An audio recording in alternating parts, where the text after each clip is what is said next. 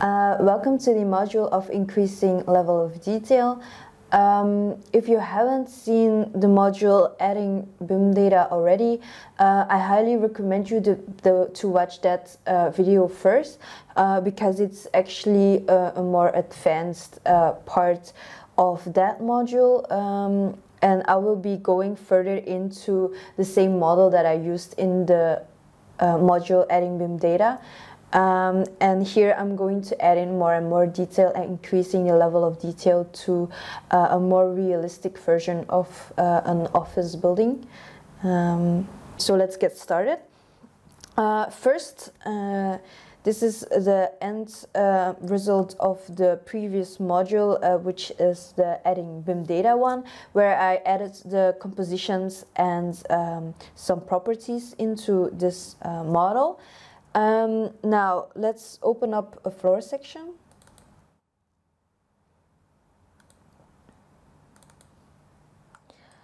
And zoom into the front and zoom into the connection of the wall wall uh, from the front and the back wall composition. So you can see here it's not perfectly aligned and connected to each other since the compositions has a different thickness. Um, if we zoom into another wall-wall uh, connection, which has both front composition, uh, you can see these connections look pretty good. Uh, it's only this one that we want to change. Now, um, in the previous module of uh, the adding BIM data, I showed you how to use propagate uh, to copy um, the same kind of details uh, into the other parts of your drawing. Now here I'm going to use the details panel. So if I open up this icon, you will see the details panel. If you don't find this icon in on your right hand side, you can um, right click any empty space and open up the panel uh, details. So this one, yes.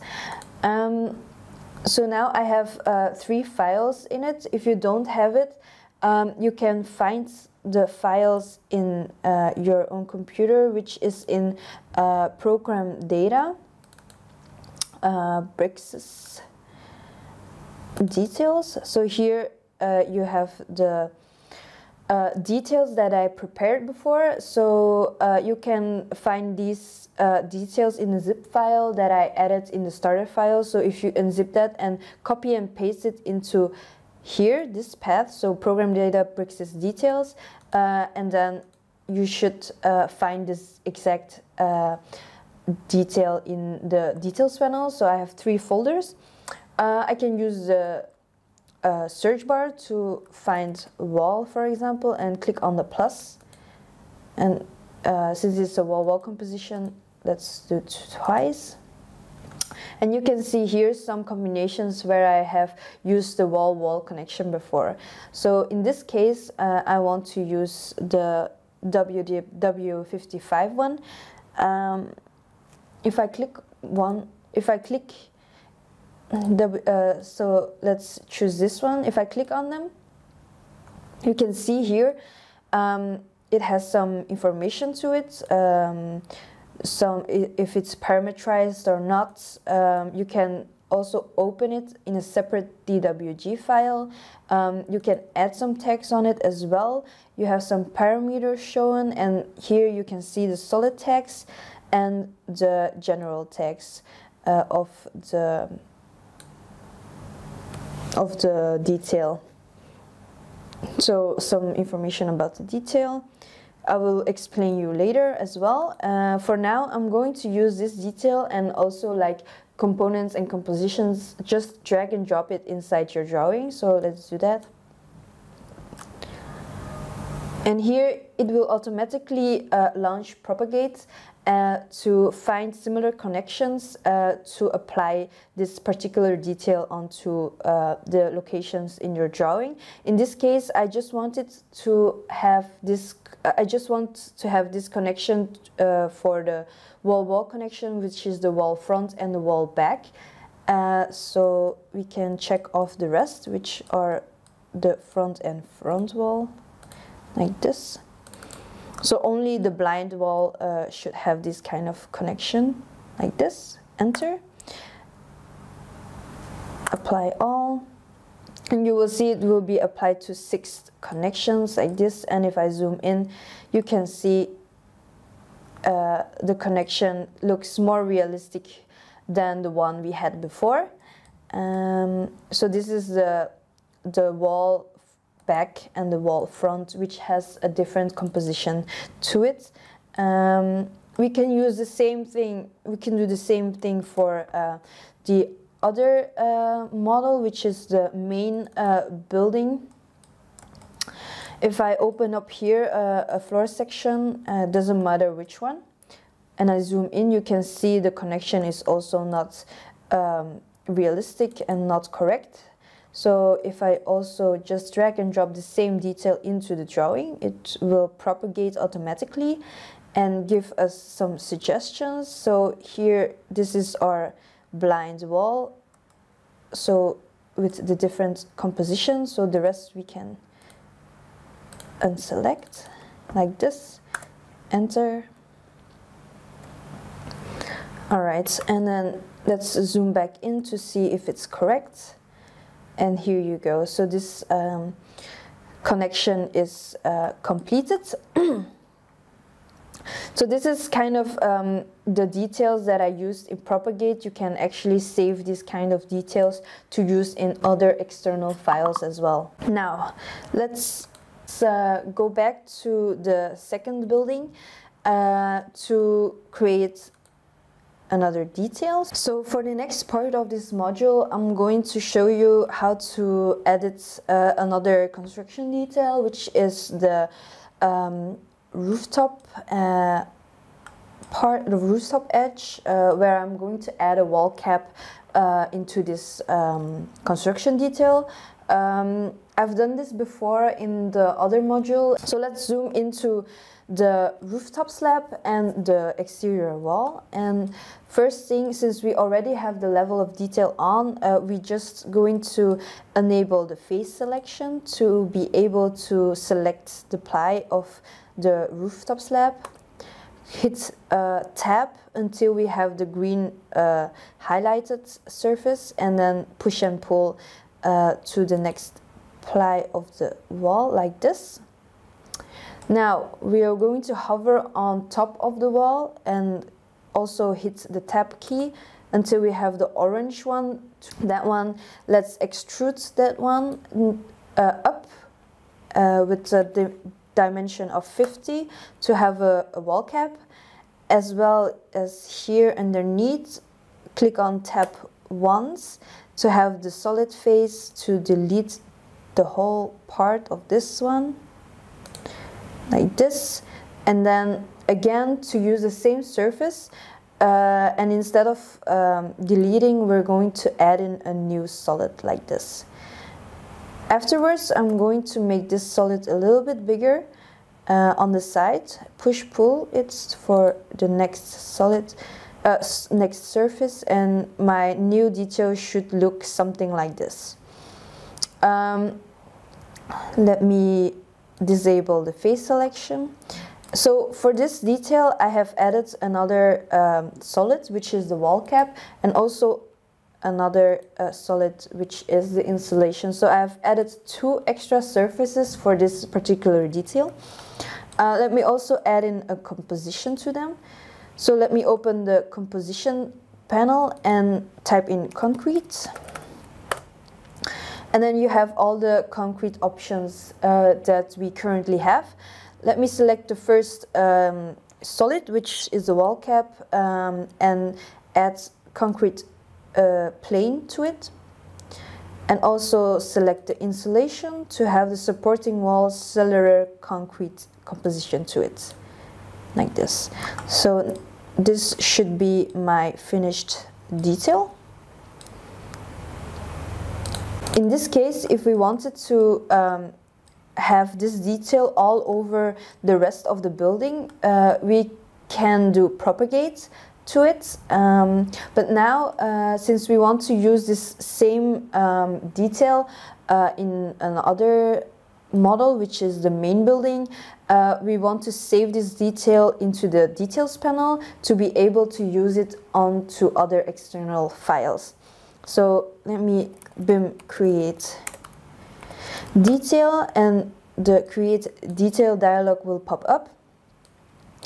Um, you can do a detail name, let's say wall cap detail and then you can choose a category or um, make one.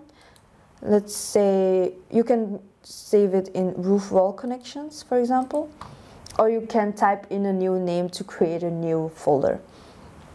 Um, select the base solids. So these are the original rooftop slab and the original wall surface uh, wall solids. Enter detail entities. So these are the new solids that you have created. So in this case, this is the uh, wall cap and the insulation and section. So the section that you've opened to create this detail. So this one.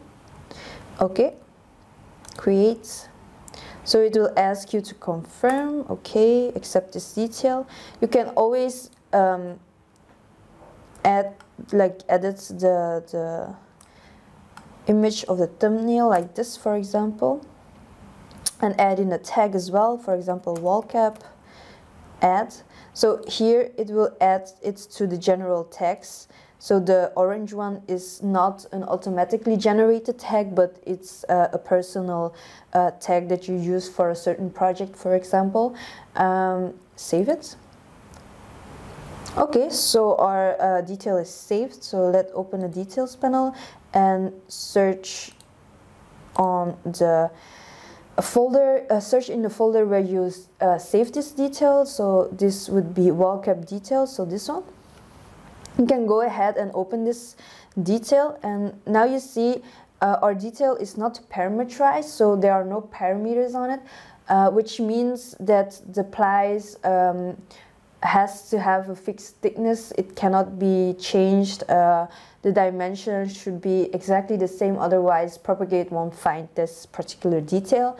But we can parameterize it and um, use it to propagate on different situations, even though the thickness is a little bit different, it will still propagate that certain detail. So let me parameterize it. So now it will be automatically parameterized and the particular detail will be opened up in a different uh, DWG file. So you can see here. Let me open up the mechanical browser. So this looks like that. And you can see here all the plies that um, we have in this particular detail and these are all in parameters which means all these thicknesses of each ply can be changed. Uh, we can check this by animating. So you can see this concrete layer is changing. So now um, even though in other situations where the concrete is a little bit thicker or a little bit thinner, it will still uh, be able to find this detail to propagate since these plies are param uh, parametrized. Uh, we can also do that for the angle, for example. Animate. You can see the angle is not perfectly done yet, so you can still change these parameters and add your own constraints to it as well. So let me en enable the face selection again. So animate this again. So you see this is um, this surface doesn't perfectly come along with the other one, so we can add in a coincidence constraint to it. Select both surfaces, constrained and coincidence. So here it will add a coincidence constraint to display uh, this face and this face. Another thing we want to be fixed is the distance between this solid surface and the one underneath for the wall cap so it will be all the time the same distance which is 50 so enter. So we've added the distance constraints of 50 um, in uh, this wall cap and the same for the insulation uh, block. So let me tap until I find the right solid face which is this one and then the one underneath and add also a distance constraint, which is 355, enter. So then these distances will be fixed. So if I animate this angle again, it looks a little bit better than before. Um, let me also change this thickness tolerance to 100. So it has a bigger tolerance. Save it.